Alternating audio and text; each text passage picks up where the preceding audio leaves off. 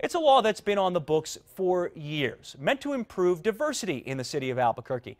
But as News 13's Haley Rush reports, an investigation shows the city has been ignoring that law.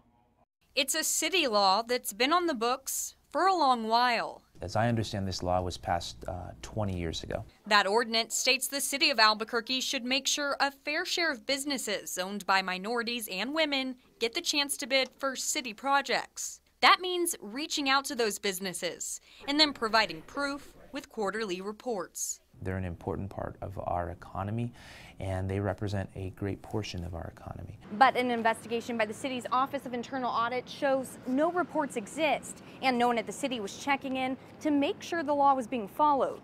The city's response? There are so many laws on the books. We don't have someone scouring every single one. It's a rule that hasn't been followed for at least 15 years.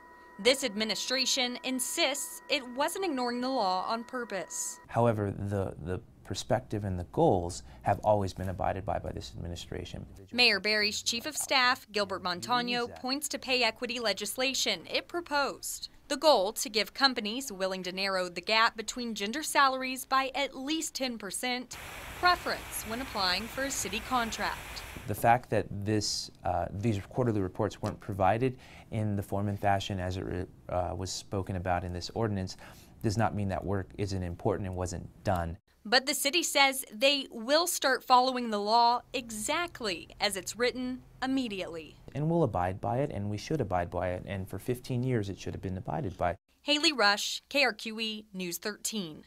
The Office of Internal Audit says this was one of the most straightforward investigations it's ever done because there was no paperwork to go over since none existed, going back at least, as Haley mentioned, 15 years.